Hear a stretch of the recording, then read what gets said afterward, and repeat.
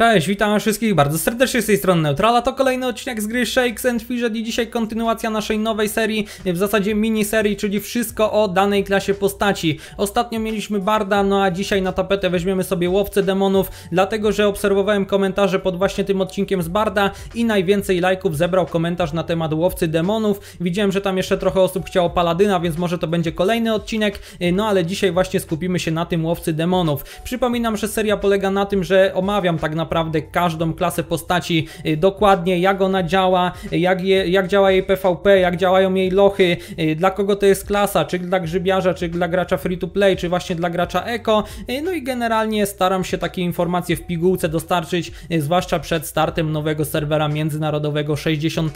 Dobra, myślę, że możemy zaczynać. No i na początek ogólny opis klasy, przeliczniki, pasywka, jakie statystyki, rasa i tak dalej. Zaczniemy sobie standardowo od tej rasy. Myślę w ogóle, że ta seria seria wypadła fajnie, tu jeszcze wstrącę, y, bo y, no oglądałem ten odcinek, co prawda wyszedł on bardzo, ale to bardzo długi, bo tam prawie pół godziny, no ale mieliście to podzielone na rozdziały, także chyba nie było problemu, to w ogóle pierwsza sprawa, a druga sprawa jest taka, że troszeczkę był to nowy taki format dla mnie, y, no i wiadomo, że muszę się w nim odnaleźć, żeby to jakoś sprawnie, powiedzmy, no sprawnie działało, nie, żebym sprawnie to wszystko omawiał, no ale właśnie jeżeli chodzi o tego barda to jest on dosyć skomplikowany, y, więc w sumie to nie było zbyt mądre, żeby jako pierwszy odcinek to właśnie brać sobie tego barda i jego omawiać, no ale było, minęło, y, w miarę to i tak wyszło git, y, więc teraz przechodzimy do łowcy demonów. Dobra, tak jak mówię, pierwsza sprawa to jest rasa, oczywiście łowca demonów, główna cecha zręczność, ma eliksir, którym może wskrzesić się w bitwie, no i jeżeli chodzi o łowcę demonów, no to mamy napisane, że jego główną statystyką jest zręczność, więc najlepszą rasą dla niego będzie gnom, więc jak zakładam zakładacie sobie tutaj konto, no to wybieracie Gnoma. Macie tu wszystko oczywiście ładnie napisane, która rasa y, daje wam jakie tam statystyki. Y, tak czy inaczej, no najlepszy właśnie dla klas na zręczność jest Gnom, y, bo jak widzicie daje tej zręczności plus 3. Przypominam, że to działa tylko przy zakładaniu konta. Jak już założycie to konto, to możecie sobie zmienić ten wygląd, no ale bonus już z wami zostanie, więc tutaj zdecydowanie wybieramy tego Gnoma. No i co? I myślę, że sobie założymy jakiegoś łowcę demonów pierwszego lepszego, potem go oczywiście usunę tutaj tutaj na serwerze pierwszym międzynarodowym niech będzie i omówię Wam jak działa przede wszystkim jego pasywka. Nie jest to nic skomplikowanego, dlatego że eliksir wskrzeszenia 44% y, szansy na wskrzeszenie i przywrócenie 90% punktów życia. Y, po każdym wskrzeszeniu szansa na kolejne wskrzeszenie w tej samej bitwie zmniejsza się o 2%, y, natomiast liczba przywróconych punktów zdrowia o 10%, więc y, pierwsze wskrzeszenie no to jest tak jak w tej drugiej linijce, 44% szansy, no i przywraca 90, czemu to mi ciągle znika, i przywraca 90% punktów życia, natomiast potem kolejne wskrzeszenie no to już jest 42%, no i przywraca 80% punktów życia, nie? Więc no generalnie tak to po prostu działa. No i eliksir nie działa tylko i wyłącznie na magów, więc jeżeli y, walczymy z magami, to można powiedzieć, że ta walka przebiega tak jak na przykład jakiś zwiadowca namaga, y, dlatego że właśnie na przykład y, jak jesteśmy zwiadowcą, no to uniki nie działają na tych magów, y, no a tutaj ta potka w ogóle w walce z magiem nie działa. No, więc tak to generalnie wygląda, po prostu wskrzeszenie mogę Wam zaprezentować, jeżeli chcecie, tylko tutaj, żebyśmy znaleźli, a może sobie na ręce w sumie znajdę, o akurat mamy samych magów, no to fajnie Wam zaprezentowałem, o ok, może tutaj nam się uda, no 44% na to pierwsze wskrzeszenie to jest bardzo, ale to bardzo dużo, tak więc y, ja tu raczej byłbym spokojny o to, dlatego że bardzo często... O, akurat teraz nam się nie udało, ok.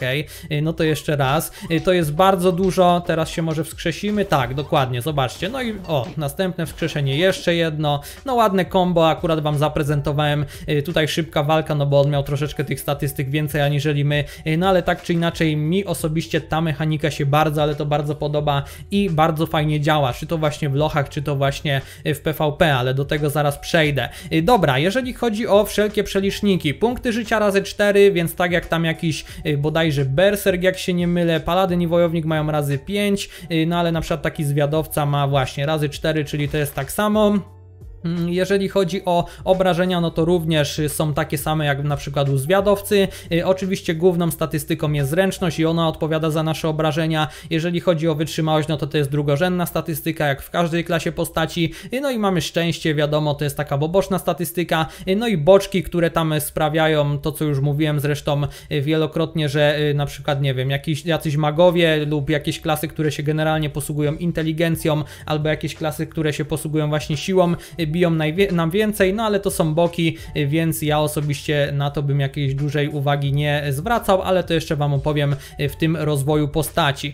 No, więc tak jak mówię, maksymalnie pancerza możemy mieć 50%, czyli tyle co wojownik, więc to jest powiedzmy taka różnica między zwiadowcą, dlatego że zwiadowca, jak dobrze pamiętam, ma tego pancerza 25% maksymalnie, dokładnie, więc no tutaj tego pancerza mamy zdecydowanie więcej. No i tyle, tyle tak naprawdę, jeżeli chodzi o opis taki ogólny tej klasy postaci. Mm, bo tu większej filozofii nie ma i myślę, że raczej nie ma co wam tutaj y, więcej powiedzmy opisywać, no bo no nie jest to takie skomplikowane jak na przykład y, właśnie przy okazji tego barda. Y, dobra, teraz jeżeli chodzi o to jak rozwijać tego łowcę demonów, jak ja bym go tutaj rozwijał, jak to według mnie powinno wyglądać, to od razu odwołuję do filmu w przypiętym komentarzu, tam jest link do niego, gdzie po prostu opisuję jak ogólnie rozwijać każdą klasę postaci, czyli po prostu taki uniwersalny poradnik do rozkładania tych statystyk. Natomiast jeżeli chodzi o y, łowcę demonów, ja osobiście robiłbym coś takiego, y, żeby sobie y, rozwijać, dopóki główna statystyka oraz HP nie będą tutaj kosztować, bo mówimy tylko i wyłącznie o podstawach,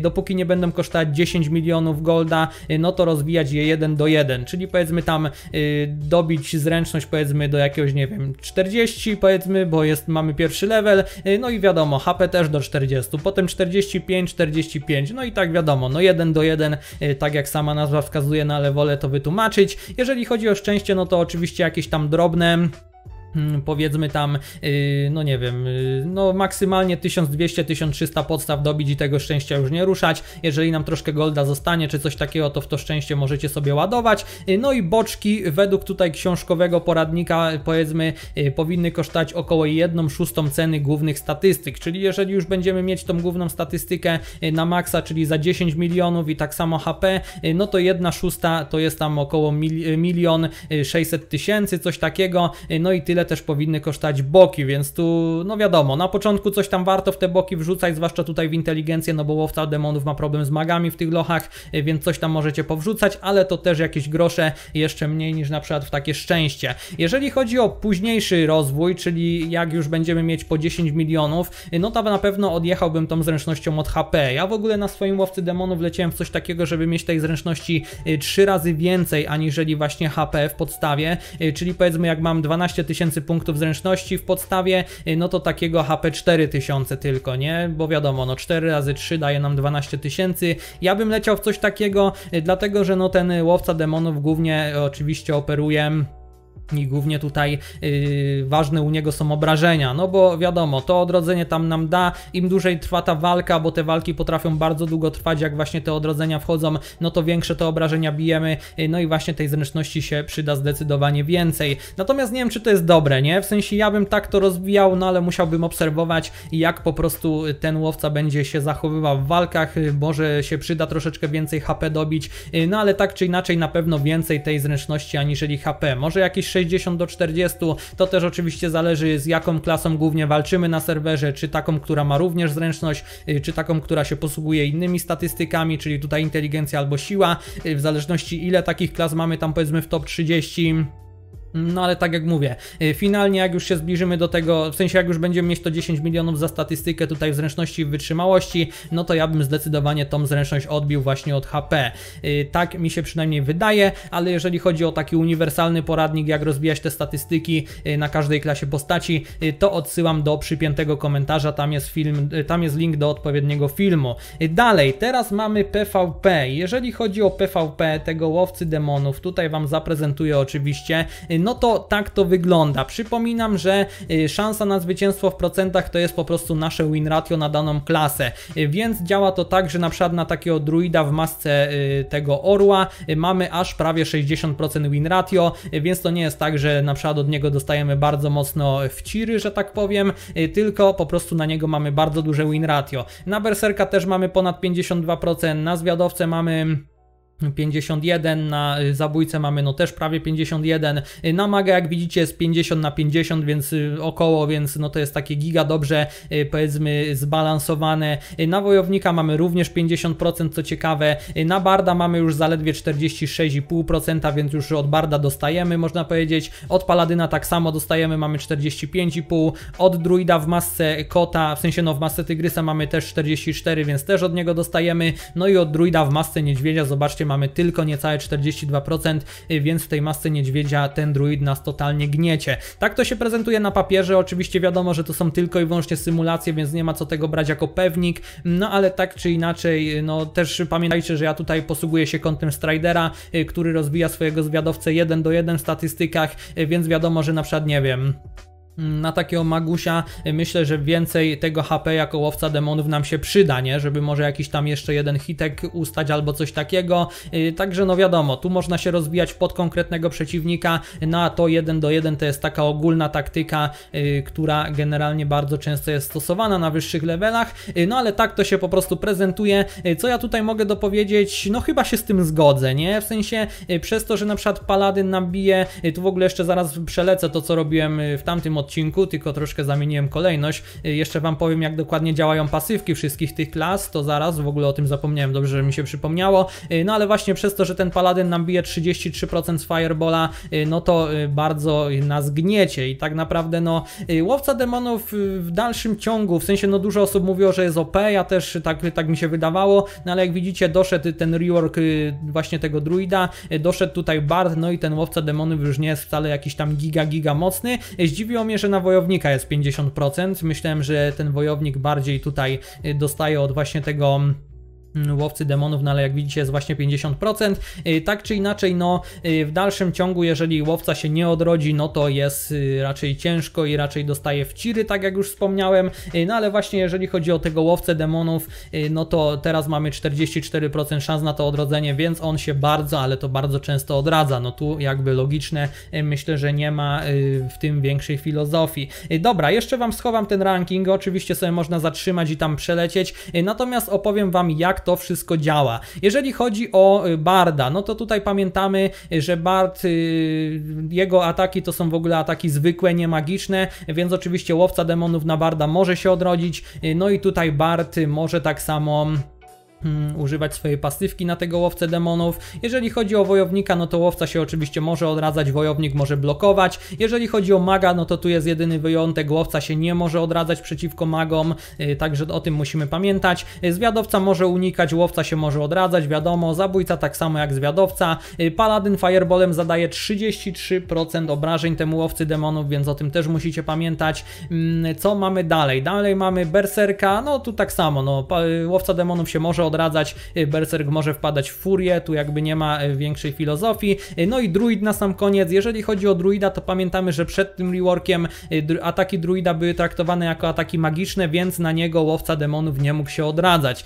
Teraz to zostało naprawione, bo oczywiście tak być nie powinno, no i teraz łowca demonów może odradzać się na tego druida, no a pasywka właśnie tego druida działa również na łowcę demonów. Więc tak to po prostu w skrócie się tutaj prezentuje, jeżeli chodzi o te wszystkie klasy. Y, co mogę więcej powiedzieć? No i pancerz, to co nie powiedziałem w tym odcinku z Barda, myślę, że warto to podkreślać. Y, pancerze działają oczywiście w każdym tym meczapie normalnie, tak jak działać powinny. Jedynym wyjątkiem jest mag, no bo mag oczywiście ignoruje ten pancerz, y, więc te 50% tutaj łowcy demonów na maga, w sensie 50% pancerza na maga oczywiście nie działa. No, więc tak to generalnie wygląda, tak to się prezentuje, jeżeli chodzi o PvP. Teraz lecimy do lochu żeby znowu odcinek nie wyszedł giga długi. Y, cyk, to jest chyba to, dokładnie. No i to jest mój ranking, jeżeli chodzi właśnie o tego łowcę demonów w lochach. Y, dałbym mu A tier, y, jedynie wyżej jest Berserk, to co już mówiłem, to co właśnie tam wspominałem chyba w tym odcinku z Barda również, y, że ten S-tier to powinien być właśnie yy, Berserk, natomiast jeżeli chodzi o A-tier to jest Łowca Demonów i tak naprawdę w tym A-tierze tylko i wyłącznie bym umieścił tego Łowcę Demonów, no bo jest on bardzo, ale to bardzo dobry na te lochy. Po tym reworku, gdzie ma te 44% szans na odrodzenie, no to te lochy naprawdę fajnie miażdży. Kto chce to sobie może obejrzeć moją serię tam trzyodcinkową z W57, bo to był właśnie serwer, gdzie te lożki sobie, w sensie gdzie testowaliśmy, bo to był serwer, gdzie ten łowca demonów zmieniony pierwszy raz wszedł, y, więc y, testowaliśmy go sobie przez pierwsze 3 dni, y, powstały trzy odcinki z tej powiedzmy miniserii, no i tam widzieliście, że ja nawet jakoś bardzo tam się nie starając czy coś, wbiłem 109, tam jak dobrze pamiętam, level trzeciego dnia tym łowcą demonów, już ponad 50 miałem drugiego dnia, gdybym miał czas, gdybym tam mi się chciało dłużej trzymać live'a, bo to tak jak mówię, to było takie testowe, więc jakoś tam nie tryhardowaliśmy, ale jakby mi się chciało właśnie dłużej sobie cisnąć, y, no to na pewno tego drugiego dnia jeszcze większe levele byśmy powbijali. Y, tak czy inaczej, no bardzo fajnie te lożki tym y, łowcom idą i myślę, że jest on oczywiście gorszy na, niż Berserk, bo ci magowie go jednak blokują, no ale na pewno jest lepszy w tych lochach niż tam jakiś zabójca, zwiadowca, powiedzmy nawet Bart, co już zresztą odnosiłem się do tego w tym odcinku z rankingiem tych wszystkich klas, więc no tak jak mówię, tu zdecydowanie dałbym Atier, jedna z lepszych klas do tych lochów. No i co? Tyle, jeżeli chodzi o to moje, powiedzmy, o te moje rankingi rankingi. No i na sam koniec, dla kogo to jest klasa? Czy to jest klasa dla grzybiarzy, czy to jest klasa dla graczy free to play, czy to jest y, klasa dla graczy eko? Y, moim zdaniem klasa ta, czyli łowca demonów jest y, klasą dla każdego. W sensie dla grzybiarzy jest bardzo dobra. W ogóle zobaczcie, że ta klasa ma bardzo fajny balans pomiędzy lochami i PvP. W sensie zazwyczaj było tak, że jak klasa była jakaś tam giga mocna w lochach, no to nie była zbyt dobra w PvP. Natomiast tutaj mamy bardzo fajny ten balans. To odrodzenia bardzo często wchodzą, no bo bo mamy prawie 50% na to. Więc tak jak mówię, y, ta klasa jest moim zdaniem dla każdego. Y, nie potrzeba żadnych dodatkowych broni czy czegoś takiego, więc to w ogóle na plus. Y, no i grzybiarze będą bardzo fajnie sobie nią radzić i będą mogli nią wbijać topki, topki spokojnie. Free to play również. W ogóle to jest chyba jedna z bardziej przeze mnie polecanych klas dla graczy free to play, dlatego że tak jak mówię, bardzo fajny balans pomiędzy PvP a lochami, więc tutaj free to play powinien dobrze się nią bawić. Te odrodzenia będą często wchodzić, więc również w tych lochkach mimo że tam free to play klika tylko co godzinkę darmówkami, to też to powinno fajnie wyglądać, więc dla graczy free to play wydaje mi się, że jedna z fajniejszych klas. No i gra, gracze eko, no tak samo, jeżeli dla free to play grzybiarzy jest bardzo fajna, no to dla graczy eko tak samo. Trzy paseczki, a tutaj jak będziecie chcieli tam wydać, nie wiem, jakieś drobne grzybki, wlożki, to również to powinno oddać, więc no mówię, moim zdaniem jedna z lepszych klas i nie widzę tu żadnych przeciwwskazań, jeżeli chodzi właśnie o grę tam jako gracz free to play, czy jako grzybiarz, czy tam ktokolwiek inny. Wszystko, wszystko, taki krótszy odcinek, już mi wyszło 17 minut, więc o wiele lepiej aniżeli u Barda, no ale myślę, że o wiele płynniej to zrobiłem. Mam nadzieję, że o niczym nie zapomniałem. Dziękuję Wam pięknie za uwagę, za oglądanie, mam nadzieję, że się podobało. Subskrybujcie z dzwonem, kto jeszcze tego nie robi. Wbijajcie na Discorda, na Instagrama i na Twitcha, linki są przy piętym komentarzu oraz opisie. Możecie również oczywiście pisać komentarze, czy się z czymś nie zgadzacie, czy może o czymś innym macie jakieś tam, czy w sensie o czymś macie jakieś inne zdanie, to też możecie pisać. Wszystko sobie sobie chętnie poczytam. No i mam nadzieję, że komuś tym filmem pomogłem. Dziękuję Wam pięknie za uwagę, za oglądanie tego lajka. Pamiętajcie zostawić. Yy, trzymajcie się i cześć!